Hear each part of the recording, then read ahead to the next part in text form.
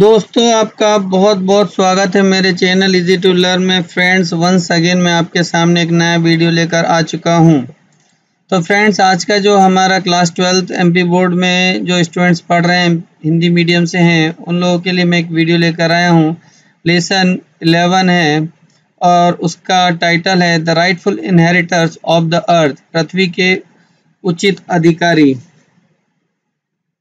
चलिए फ्रेंड्स देखते हैं इससे पहले कि अपने लेसन को स्टार्ट करें, पहले एक क्वेश्चन आपसे पूछा गया है what are the pest and how do harm us should they exterminated ये जो जीव जंतु कीटाणु क्या है? क्या वे हमें हमेशा नुकसान पहुंचाते हैं? क्या उन्हें यहाँ से हमेशा के लिए नष्ट हो जाना चाहिए, बर्बाद हो जाना चाहिए? तो फ्रेंड्स चलिए देखते हैं। इंसेक्ट और एनिमल दैट डिस्ट्रॉयड प्लांट ऐसे जीवाणु, कीटाणु, जो कि पौधों को नष्ट करते हैं एंड फ़ूड और भोजन को नष्ट करते हैं आर कॉल्ड पेस्ट इन्हें हम कीटनाशी कहते हैं।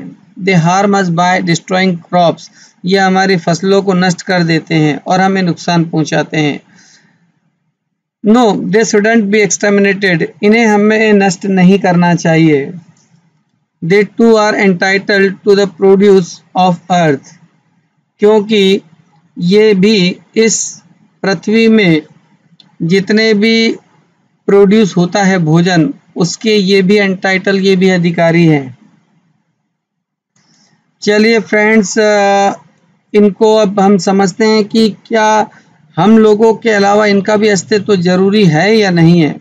एक ऐसी छोटी सी कहानी, इसमें आपको आ, समझ में आएगी अंत में कि क्या इनका कोई अपना रोल है? When I became the owner of a tiny little piece of wide earth जब मैंने एक छोटा सा ज़मीन का टुकड़ा खरीदा और मैं उसका मालिक बन गया मतलब एक आदमी ने छोटा सा ज़मीन का टुकड़ा खरीद लिया। तो स्वाभाविक है कि वो उसका मालिक तो हो गया। I formally believe that my future was secure तो मुझे ऐसा लगने लगा कि मेरा जो अब भविष्य है, वो एकदम सही है, निश्चिंत है। इट वॉज़ टू एकड़ प्लॉट विथ कोकोनट पॉम्स इसमें दो एकड़ थे, जिसमें कोकोनट पॉम्स ही है। एन ओल्ड हाउस इसमें एक छोटा सा पुराना घर भी है। दैट कुड बी रिनोवेटेड और इसको रिनोवेट किया जाना था, अभी पुताई उताई की जानी थी, ठीक करना था। Those were the days when the price of coconut was spiralling ये इन दोनों की बात है, जबकि कोकोनट यानी नारियल के जो दाम है, बहुत तेज़ी से बढ़ रहे थे। I savoured the thought of palms laden with coconut मैं उन पेड़ों को देखकर खुशी से भर जाता था कि देखो कितने इसमें नारियल ही नारियल भरे पड़े हैं। इट वॉज़ अप्पी एक्सिस्टेंस बहुत ही खुशनुमा माहौल था friends but then arrive the interlopers लेकिन तभी वहाँ पर कुछ घुसपैठिए आ गए। ट्रेस पासिंग वो अंदर बढ़ने लगे। मतलब वो मेरा जो डोर था, जो फेंसिंग लगी थी, उसको पार करने लगे। Flouting the legality of the ownership documents. जबकि मैं उन्हें बता रहा हूँ, वो बिल्कुल नहीं देख रहे कि इसका मालिक मैं हूँ। मतलब मेरे पास ओनरशिप डॉक्यूमेंट है, यानी कोई रजिस्ट्री वगैरह है। उसको भी लीगल डॉक्यूमेंट को भी वो फ्लोट कर रहे हैं, हवा में उड़ा रहे हैं और देख नहीं रहे। Vaulting the fence at boundary her boundary को वॉयलेट कर रहे हैं। बाढ़ से ऊपर आ रहे हैं। डिफाइंग द सेंट्री मेरे जो संतरी है, वफादार कुत्ता है, उसको भी वो डिफाई कर रहे हैं, इनकार कर रहे हैं। माई डॉग शान मेरा डॉग जो कुत्ता है, वो मेरा वफादार चौकीदार है, उसको भी वो नज़रअंदाज कर रहे हैं। They did not seem to be care for anyone in the world ऐसे अंदर आ रहे हैं, जैसे कि उन्हें लगता है कि यहाँ पर कोई है ही नहीं उनके अलावा। नॉट इवन द गवर्नमेंट यहाँ तक कि सरकार को भी नहीं मान रहे। The first arrival the bird सबसे पहले पक्षी पूरे अंदर आ गए। एंड बटरफ्लाईज और तितलियाँ भी आ गई। अ वैरायटी ऑफ़ बर्ड्स और हज़ारों प्रकार के पक्षी अंदर आने लगे। And so many many butterflies और हज़ारों प्रकार की तितलियाँ अंदर आने लगी। एंड पर्ज और वो किसी पेड़ की डाल में बैठने लगे। On the bough of the tree किसी भी पेड़ की शाखाओं में बैठने लगे एंड प्लांट छोटे छोटे पौधों में भी बैठने लगे। The butterflies fluttered around the courtyard, flashing their color in the sunshine. जितनी भी तितलियाँ थी वो चारों ओर तेज़ी से आँगन में फ्लटर कर रही थी घूम रही थी चारों ओर। और फ्लैशिंग देयर कलर उनके जो कलर्स है वो इतने चमक रहे थे ए, सूरज की रोशनी में बहुत अच्छा लग रहा था। We could not shoo off the chirping birds हम, लेकिन वो चाहती, उनकी जो आवाज़ थी, वो बहुत कानों को चुभने लगी थी, लेकिन मैं उन्हें भगा नहीं सकता। एंड बटरफ्लाईज ना तो हम तितलियों को भगा सकते थे। हज़ारों की संख्याओं में थी। आई क्रो मुझे वो जो कौए की जो काव काव की जो ध्वनि थी देयर रोकस जो उसकी कर्कश जो ध्वनि थी काउ काउ वाली। Friends was more insufferable than the racket of the other world. जो दूसरे पक्षी आ रहे थे, उनके रैकेट से ज़्यादा मुझे उन कौए की कर्कश ध्वनि लग रही थी। मेरे कानों में चुभ रही थी। Besides they swoop down on the chicks जैसे वो जो छोटे छोटे कीड़े मरे पड़े थे नीचे, उन पर झपट्टा मारने के अलावा देवर फॉलोड बाय हॉक्स उनके पीछे पीछे बाज आ रहे थे। And that trees on the coconut palms और जो कि कोकोनट के जो पेड़ हैं, जो नारियल के पेड़ पर आकर्षित होकर उस पर बैठ गया विद द सेम इंटेंट वो भी उसी उसी इरादे से बैठे थे कि हमें भी यहाँ पर कोई ना कोई शिकार मिलेगा। They kept and watch and waited वहाँ पर बैठ गए और वहाँ पर वो इंतज़ार करने लगे। सोन देयर मैंगोज फिर तभी वहाँ पर नेवला आ गया। In bamboo thicket and foxes in this shrubbery patch और तभी वहाँ पर वो झाड़ियों में जो बाँस की जो झाड़ी थी, उसमें वो बैठ गए एंड फॉक्सेस लोमड़ी भी आ गई इन द सरबरी मतलब वो जो झाड़ियों का झुरमुट जो इकट्ठा वहाँ पर पेड़ लगे थे, उसमें से बहुत सारी लोमड़ियाँ आ गई नियर इट उसके पास में ready to pounce on the hands और वो भी शिकार की तलाश में छोटी छोटी मुर्गियों पर शिकार करने की तलाश से वहाँ पर बैठ गई। इवन एज आई वंडर्ड और तब मुझे बड़ा आश्चर्य हुआ। बड़ा मैं विस्मय में आ गया वट राइट दिस क्रिएचर अरे ये कौन सा प्राणी है? Had to be my on land मेरे ही ज़मीन पर आकर बैठा है। This creature they are emerge fear बहुत बड़ा और भारी ये प्राणी था। क्रिएचर विदाउट हैंड्स ऐसा प्राणी जिसका कोई हाथ नहीं था और लेग्स कोई पैर नहीं था और विंग्स कोई पंख नहीं थे। A cobra it stood before me एक कोबरा था जो मेरे सामने आके खड़ा गया। डिग्निफाइड मैजेस्टिक एक गौरवशाली, एक भव्य जैसा उसका शरीर था, वो एकदम भव्यता से खड़ा हो गया। इट्स उस हुड स्प्रेड उसने अपना फन फैला लिया। Out as if asking me ऐसा लग रहा था, मानो मुझसे ही पूछ रहा हो what business I had on this page कि इस जगह पे तुम्हारा क्या काम है? मतलब वो मुझे ही कह रहा है कि तुम यहाँ पर क्यों हो? ये उसकी जगह है. I said you had better leave my two एकड़ लैंड मैंने उससे कहा, इससे अच्छा होगा कि तुम मेरे दो एकड़ की ज़मीन से यहाँ से दूर चले जाओ इमिडिएटली तुरंत. बट देन तभी वेयर कुड आई गो कि मैं कहाँ जा सकता हूँ? Had and almost the whole of this earth had been bought by man लगभग almost the whole of the earth तब मैंने ये सोचा वो कहाँ जा सकता है? क्योंकि लगभग इस पृथ्वी का हर एक हिस्सा तो कोई ना कोई हिस्सा ज़मीन ने खरीद किसी न किसी इंसान ने खरीद रखा है। बिट बाय बिट हर ज़मीन का टुकड़ा खरीद रखा है। My wife said jackfruit has ripened. मेरी वाइफ ने कहा कि कटहल पक चुके हैं but squirrel are crows feasting on it लेकिन जो गिलहरियाँ हैं, कौवे हैं, वो इसमें भोजन का मज़ा ले रहे हैं। वो ऐसा लगता है कि अपनी पार्टी मना रहे हो। Birds and bats are eating up all the guavas पक्षी और चमगादड़, जो अमरूद और जामफल के पेड़ लगे हैं, chikoo, sapotas, chikoo and graft mangoes और जो कच्चे आम लगे हैं, उसका मज़ा ले रहे हैं। But that's the beauty of it लेकिन यही तो सुंदरता है। आई रिमार्क मैंने कहा God almighty who hold the universe together कि परमात्मा ने, में सबको एक साथ बाँध रखा है। विदाउट अ सिंगल प्रूफ किसी को भी एक विशेष अधिकार नहीं दिया। Has created a variety of things कई हज़ारों चीज़ें उसने बनाई हैं। फॉर इस क्रिएचर अपने जीवन के लिए, अपने प्राणियों के लिए फ्रूट्स उन्होंने फल बना, बनाए एडिबल रूट्स खाने योग्य जड़ बनाए ग्रास घास को बनाया ग्रीन अनाज फ्लावर्स फूल वाटर पानी एयर हवा वार्म उष्मा एंड लाइट और प्रकाश को बनाया। Don't you think we should remind our self always that birds क्या तुम्हें ऐसा नहीं लगता कि हमें इनके बारे में भी हमेशा याद रखना चाहिए? That birds beast and insect too entitle to the products produce of the earth तुम्हें नहीं लगता कि ये पक्षी, ये जंगली जानवर और ये छोटे छोटे कीटाणु, ये भी पृथ्वी में जो भी चीज़ें पैदा होती है, उन पर इनका भी अधिकार है। Almighty God how unfortunate it is लेकिन हे परमात्मा, ये कितनी दुर्भाग्य की बात है। That rats have to be killed लेकिन अब इन चूहों को मरना ही होगा। So that we can live तभी हम ज़िंदा रह सकते हैं। Can human being without sir not survive without destroying other creature of the earth क्या हम इंसान लोग किसी दूसरे प्राणी को बिना मारे क्या ज़िंदा नहीं रह सकते? What we need is a scientific method. हमें क्या वैज्ञानिक तरीका चाहिए? अ नोवेल आइडिया, सबसे बेहतर आइडिया है, सबसे अच्छा उपाय है। That will make it possible for us जो हमारे लिए संभव है to live without killing the creature बिना भी किसी एक प्राणी को हम मारे यदि ज़िंदा रहना हो। ओ क्रिएचर ऑफ़ रेट हे चूहे, जो बनाने वाले चूहे बियर विद हमको सहन कर लो।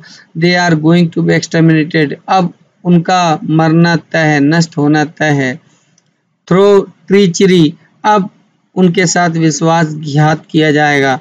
The issue is the loss of 900 coconut every month क्योंकि यहाँ पर सवाल, हर महीने 900 जो कोकोनट नारियल के पेड़ लगे, उन पर सवाल आ चुका है। The sole mean of our livelihood क्योंकि मुख्य मुद्दा हमारे जीवन यापन का है। फॉर हमें माफ़ कर देना। After shopping two hour my wife return home मेरी पत्नी बाज़ार चली गई और दो घंटे की शॉपिंग के बाद घर आई, along with other item of purchase was a large tin of red poison. बहुत सारे सामान थे उसमें। एक बहुत बड़ा टीन, एक डब्बा था जिसमें चूहों की मारने की जहर था। The poison was mixed with bananas अब ये जहर को केले में मिला दिया गया राइस चावल में मिलाया गया। टेपिको टेपिका एक फल आता है, उसमें मिला दिया गया and kept all other places और हर जगह रख दिया गया बीनीथ द कोकोनट ट्री उस नारियल के पेड़ के नीचे भी रख दिया गया इन फोर डेज़ चार दिनों में फाइव हैंस पाँच मुर्गियाँ ट्वेल्व स्क्वायरल बारह गिलेरी टू हंड्रेड रेड्स दो सौ चूहे एंड अ कैट और एक बिल्ली disappear behind the curtain of the time forever समय के पर्दे में हमेशा हमेशा के लिए दफन हो गए। Dead rats rotted in the attic मरे हुए चूहे, एक अटारी, उनका एक बहुत बड़ा ढेर बन गया। डेथ वॉस एवरीवेयर सब जगह मौत ही मौत थी। The stench spread all over the house पूरे घर में उनकी दुर्गंध छा गई। But the tender coconut continue to fall लेकिन तब भी हमारे नारियलों का गिरना बंद नहीं हुआ। अ फोर्ट नाइट पास लगभग एक पखवाड़ा बीत गया, पंद्रह दिन बीत गया द कोकोनट पॉम्प क्लाइंबर देन सेड। जब एक कोकोनट जो नारियल के पेड़ पर हमने चढ़ा हुआ देखे, the owl are the culprits. सबसे मुख्य अपराधी तो उल्लू था। The peck at the tender coconut. जब वो उस पर चोच मारते हैं, but that was really an old saying. लेकिन हमें तो जहाँ तक कहा गया है, कहावत है, अमित, ये एक चल रही है, कल्पना, परिकल्पना है।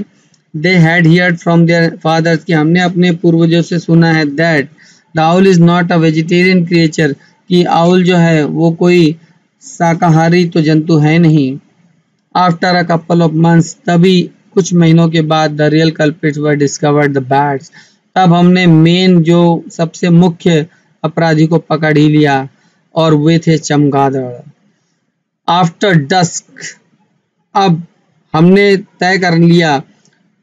Huge bats come in a swarm ये एक बहुत बड़ा झुंड आता है इनका, चमगादड़ों का।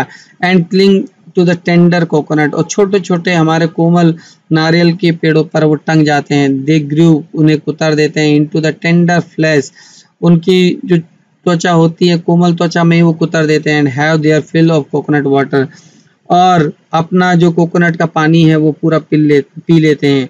आफ्टर ईटिंग द कर्नल्स वो गिरी को भी खा जाते हैं। दे फ्लाई अवे फिर वो दूर भग जाते हैं। एंड ग्रेटिफाइड संतुष्ट होके जाते हैं। लेट्स बाय अ गन चलो, आज एक बंदूक खरीदते हैं सेड माई वाइफ मेरी पत्नी ने कहा वी कैन शूट बैट्स अब हम उन्हें मार सकते हैं, बंदूक चला सकते हैं।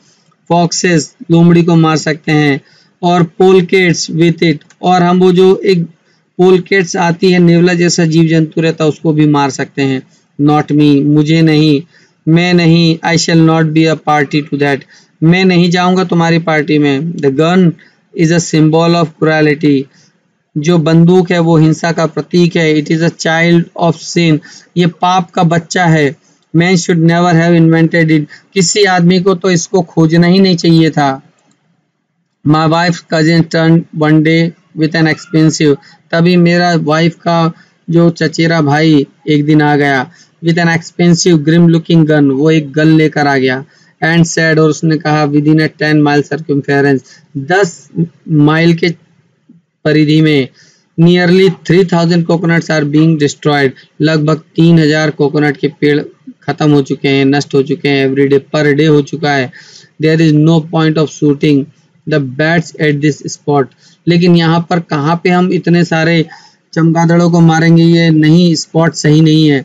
On a little islet nearby यहाँ पास में एक छोटा सा पानी का द्वीप है मतलब वहाँ तालाब है स्टैंड इन ओल्ड टेंपल वहाँ पर एक पुराना मंदिर भी है। Next to its grow a pair of banyan tree वहाँ पर कुछ बनियान के बरगद के पेड़ लगे हुए हैं। You can see at least three thousand bats तुम वहाँ देख सकते हो कि लगभग तीन हज़ार वहाँ पर चमगादड़ बैठी होती है changing on the two trees और वो दोनों पेड़ों में ही लगातार बदलती रहती है। I will finish them off और मैं उन्हें आज ही नष्ट कर दूँगा। If not in a one day यदि एक दिन में नहीं हुए तो इन टू यदि एक दिन नहीं तो दो और तीन दिन में तो हो ही जाएगा। Don't you want to witness the glorious sight of three thousand bats being slaughtered क्या तुम तीन हज़ार चमगादड़ों की जब मैं मारूँगा तो इस भव्य दृश्य का दर्शन नहीं करोगे? आई प्रेड फॉर्मेंटली मैंने उनसे उत्सुकता से मैंने प्रार्थना की, ओ बैट सेव योर सेल्फ मैंने कहा, चमगादड़, अपने आप को बचा लो। इट वॉज़ द एस्टोनिशिंग बड़ा ही आश्चर्य था। अब मेराकल एक चमत्कार था। द बेड्स वर सेव्ड कि वो चमगादड़ बच गई। My wife and cousin return same full same face मेरा पत्नी और मेरा जो साला था, वो ऐसे मुँह लटका के आ गए। शर्मिंदा होकर आ रहे डिफ्लेटेड मुँह लटका हुआ आ रहे हैं। एजिडेडली व्यथित होकर आ रहे हैं। माई वाइफ सेड मेरी पत्नी ने कहा we just manage to escape हम बामुश्किल बच पाए हैं। By the skin of our teeth हम बाल बाल बच पाए हैं। ज़िंदा नहीं तो हम मर ही जाते। There are some houses kept the temple क्योंकि उस मंदिर के आसपास कुछ घर बने हुए थे। इन स्प्लिट सेकेंड कुछ ही सेकेंड में about hundred people armed with the lethal weapon surrounded us लगभग सौ लोगों ने हमें एकदम घातक हथियारों से लैस उन लोगों ने हमें घेर लिया। And they threaten to kill us और उन्होंने हमको ये धमकी दी कि हम तुम्हें मार डालेंगे।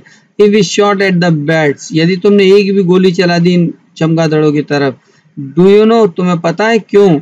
दे बिलीव वो लोग मानते हैं that bats are the soul of our ancestor कि ये चमगादड़ हमारे पूर्वज हैं। हम जब, हमारे जब पूर्वज मर जाते हैं तो वो चमगादड़ का रूप लेके इसी पेड़ पर रहते हैं। आई टुक अ डिसीज़न देन तब मैंने वहाँ निर्णय लिया। In no uncertain term I said तब मैं बिल्कुल अनिश्चित बात कह के मैंने कहा bats are not the soul of our ancestor कि चमगादड़ भले ही हमारी पूर्वज ना हो, उनकी आत्माएँ ना हो but they are one among God's many creature लेकिन वे लोग भी, वे लोग भी हज़ारों क्रिएचर में भी एक क्रिएचर है, एक प्राणी है। लेट कोकोनट बी डिस्ट्रॉयड हो जाने दो, जितने नारियल नष्ट होते हैं, हो जाने दो। दैट डजेंट मैटर कोई फ़र्क नहीं पड़ता। Let us be satisfied with what we what we get after they have taken their share उनके खा जाने के बाद, जितने वो पेड़, जितने कोकोनट वो खा लेते हैं, उनके खा लेने के बाद जितना बच गया, हम उसको ही अपना मानेंगे अब। They certainly have a right to the coconut उनका भी अधिकार है इस कोकोनट पर, क्योंकि वो भी इसी पृथ्वी के जीव जंतु है। They too are part of almighty creation क्योंकि वो हमारे सर्वशक्तिमान परमात्मा के क्रिएचर जो उनके निर्माण किए गए जीव जंतु में से भी एक है। एज आर द जैसे कोकोनट का पेड़ है remember the ancient right that God bequethed at the auspicious moment of creation एक बात याद रखें कि हमारे जो पूर्वज वालों ने कह रखा है कि जो परमात्मा की जो वसीयत है, उसके, उसका एक शुभ लक्षण पर हर किसी का अधिकार है। All living beings are the rightful inheritor of the earth सभी जो प्राणी है, वो सब के सब उचित, उसके उत्तराधिकारी हैं, पृथ्वी के। तो फ्रेंड्स ये वैकम मोहम्मद बशीर ने ये पूरी की पूरी स्टोरी लिखी है। बहुत ही गजब की उनकी जो सोच है कि किस तरह से पृथ्वी पर इंसानों के साथ साथ जीव जंतुओं का भी अधिकार है। बहुत मज़ेदार ये उन्होंने पार्ट लिखा हुआ है। वर्ड पावर देखते हैं फ्रेंड्स हमें जनरली पक्षी और जानवर उनकी आवाज़ को मिलाना है। क्या क्या उनकी आवाज़ को क्या कहते हैं? जैसे देखते हैं फ्रेंड्स हॉक्स यानी जो बाज है उसकी आवाज़ को अपन क्या कहते हैं? ट्विटर कहते हैं। उल्लू को हुट कहते हैं फॉक्सेस को स्क्रीम कहते हैं स्नेक्स की आवाज़ को हिस कहते हैं बर्ड की आवाज़ को चिरपिंग कहते हैं हैंस को कैकल कहते हैं रेड्स को स्क्वीक कहते हैं केट्स को म्यू कहते हैं मंकी को चैटरिंग कहते हैं फ्रॉक्स को क्रोक कहते हैं ऐसे गधे की आवाज़ को ब्रे कहते हैं कैमल की आवाज़ को ग्रुट कहते हैं लॉयंस की आवाज़ को रो रेन दहाड़ना कहते हैं एलिफेंट की आवाज़ को ट्रम्पेट कहते हैं। बीज, यानी मधुमक्खी की आवाज़ को हमिंग कहते हैं। फ्लाइज, मधु, मक्खियों की आवाज़ को बजिंग कहते हैं। क्रो, कौवे की आवाज़ को कौ कहते हैं। गोट, बकरी की आवाज़ को ब्लीट कहते हैं, friends.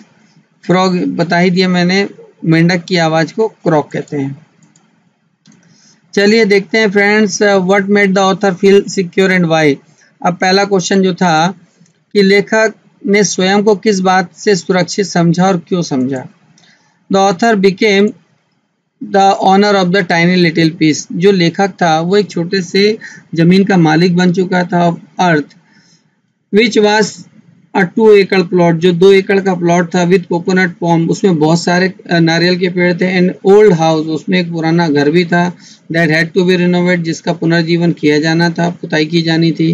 That's why he felt that his future was secure उसे ऐसा लगा कि अब मेरा भविष्य जो है एकदम तय है, बढ़िया है।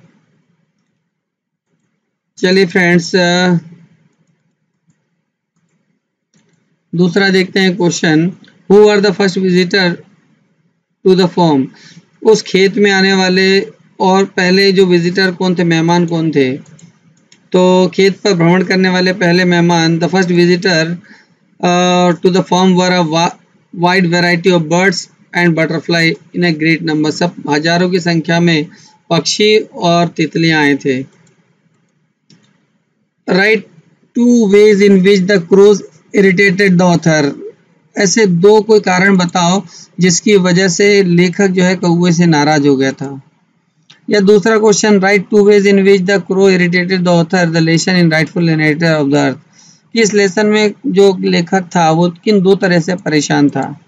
पहला था, the crow irritated the author in the following two ways दो तरह से परेशान था।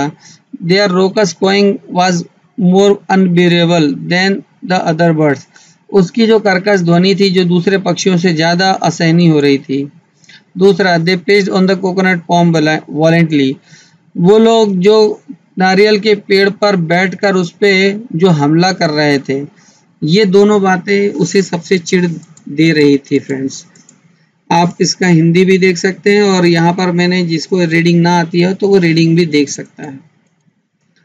What similarity did the hawks share with the crow कौन सी चीज़ें हैं जो बाज में और कौवे में एक समान थी? तो friends the crow use to prey on the coconut palm पहली बात तो जो कौवे थे वो नारियल के पेड़ पर uh, क्या कर रहे थे उसका शिकार कर रहे थे खा रहे थे।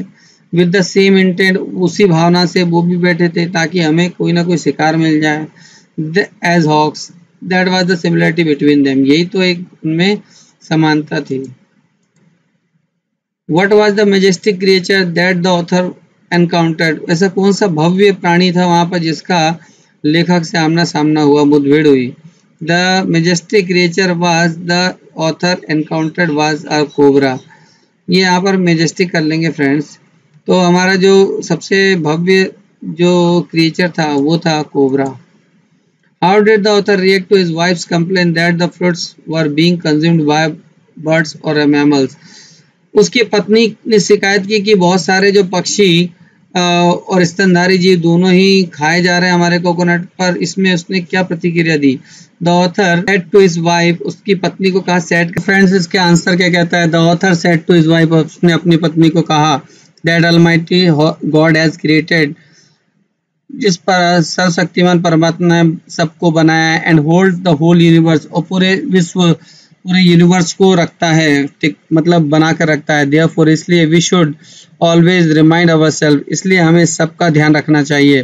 दैट बर्ड्स पक्षियों का बीच, जंगली जानवरों का इंसेक्ट जीव जंतुओं का too are entitled to the produce of the earth इसलिए पृथ्वी पर जो भी उगता है, उस पर उनका भी पूरा पूरा अधिकार है, चाहे वो कीट पतंगे ही क्यों ना हो। जितना मनुष्य का है, उतना ही उनका भी उस पर अधिकार है। How did the author justify a killing of rats लेखक ने इन चूहों को मारने को किस प्रकार से उचित ठहराया? द लेखक the author justified the killing of rats उसने इसलिए चूहों को उचित ठहराया, उनके मरने को that the rats had to be killed so that we can live यदि चूहे मरेंगे, तभी हम ज़िंदा रह सकते हैं। What were the consequence of poisoning the rats in and around चारों तरफ़ जब चूहे मरते ही चले गए घर के चारों ओर, तब उसका क्या परिणाम हुआ? तब by poisoning the rats in and around the house घर के चारों ओर जब चूहे मरने लगे the rats were found dead चूहों को मरा हुआ पाया गया, इनेटिक अटारियों पर भी पाया गया। The stench spread all over the house उसकी जो दुर्गंध थी, सड़न थी, वो पूरे घर में फैलने लगी।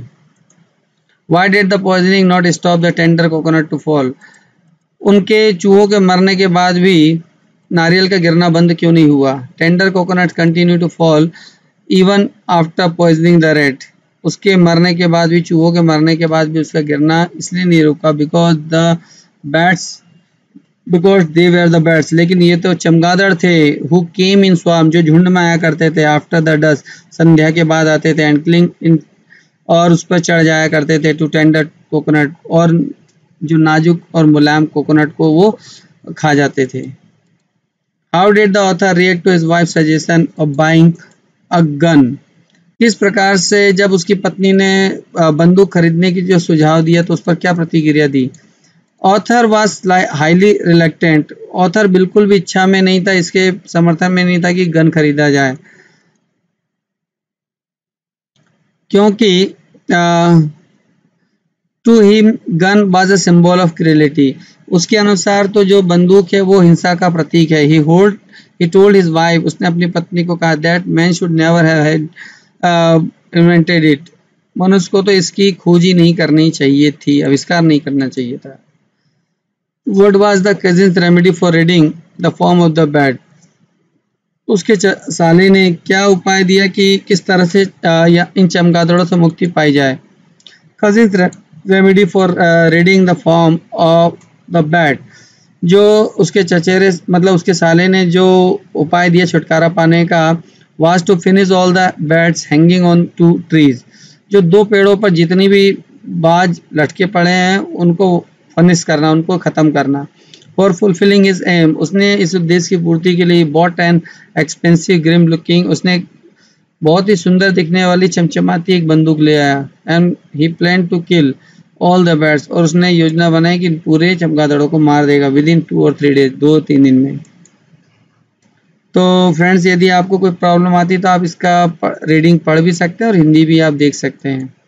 और फ्रेंड्स जो लोग मेरे चैनल को पहली बार जुड़े इसको सब्सक्राइब ज़रूर करें फ्रेंड्स और यदि आपको किसी भी लेसन के आंसर चाहिए तो आपको मैं आ, नीचे डिस्क्रिप्शन में पूरे की लिंक दे दूँगा।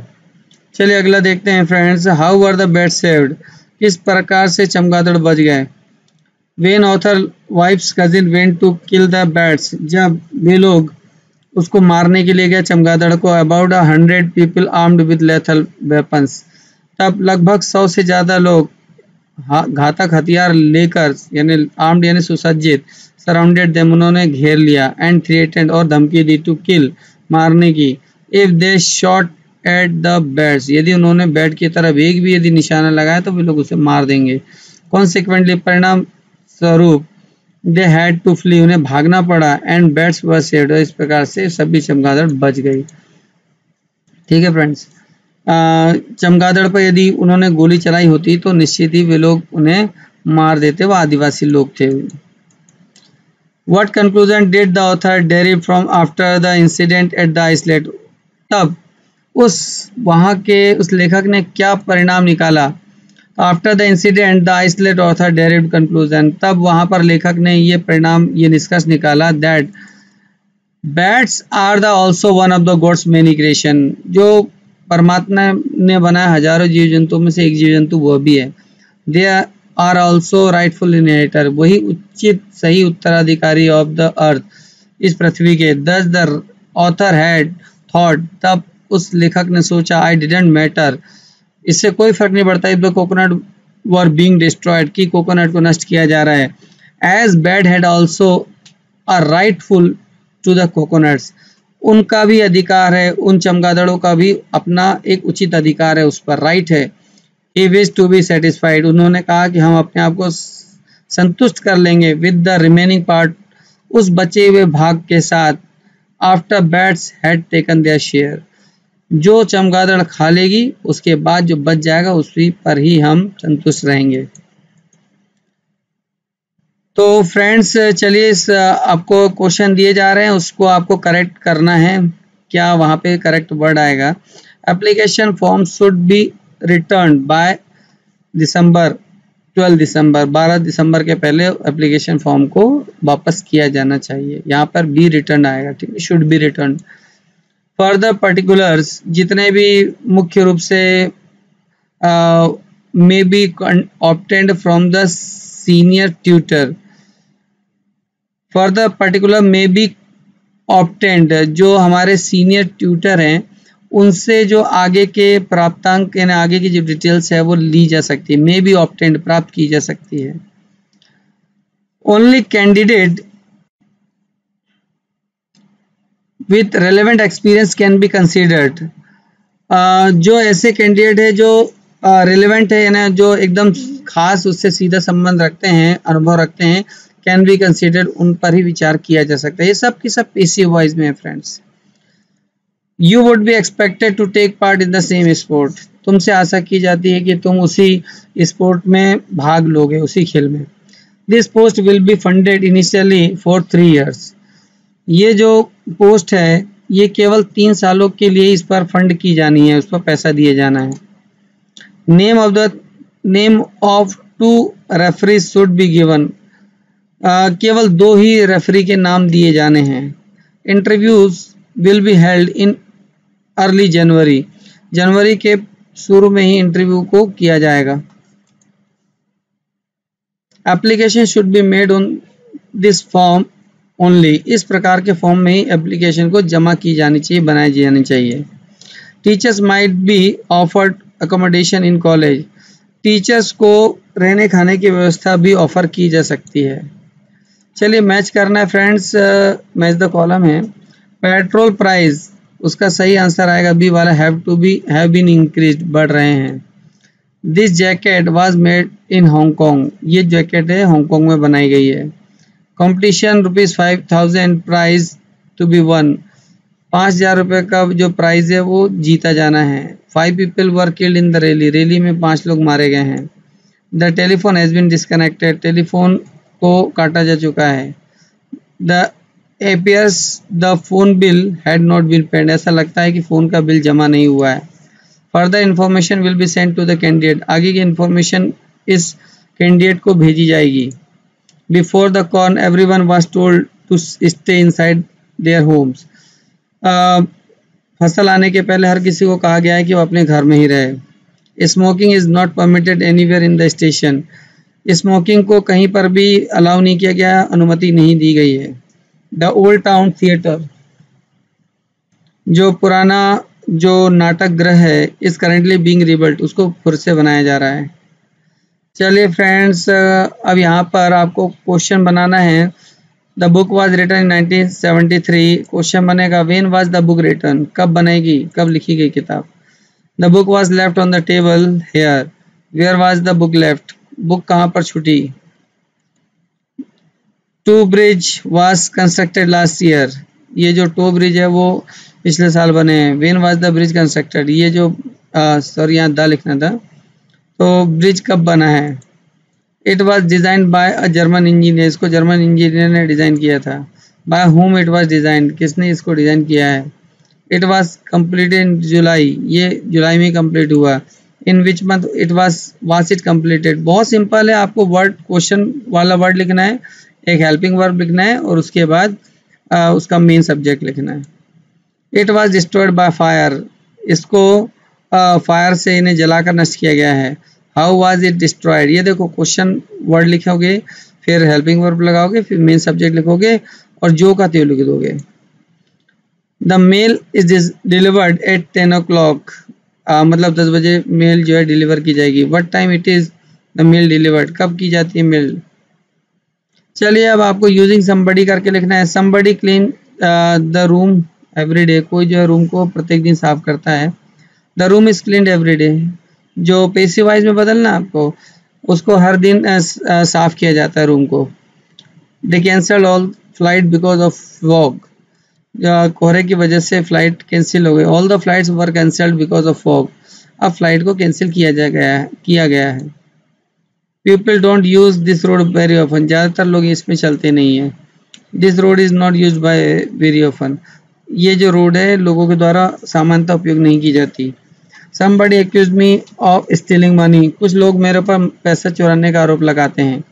I was accuse of stealing money मुझे इसलिए मुझ पर आरोप लगाया गया पैसा चुराने का। How do people learn language लोग कैसे सीखते हैं language how is learn language learn किस प्रकार से भाषा को सीखा जाता है? People advise not to go out alone लोगों ने हमें अकेले बाहर जाने से मना किया है। We were advise not to go out हमें लोगों के द्वारा सलाह दी गई है बाहर न जाने की। People do not play cricket in America America के लोग क्रिकेट नहीं खेलते हैं। Cricket is not played in America cricket को अमेरिका में नहीं खेला जाता। ही नोज़ मी वेल वह मुझे अच्छी तरह जानता है। I am well known to him मुझे अच्छी मुझे अच्छी तरह उसे जाना जाता है। तो friends thanks for watching this video मैंने आपको फिर से बोल रहा हूँ, जो मेरे चैनल में पहली बार जुड़े हैं चैनल को सब्सक्राइब कर लें और बेल आइकन को दबाएँगे तो आने वाले सभी मेरे इंपॉर्टेंट वीडियोस आपको मिलते रहेंगे। और यदि आपको इस लेसन में कोई बात अच्छी लगी हो या बुरी लगी हो कमेंट अवश्य कीजिएगा।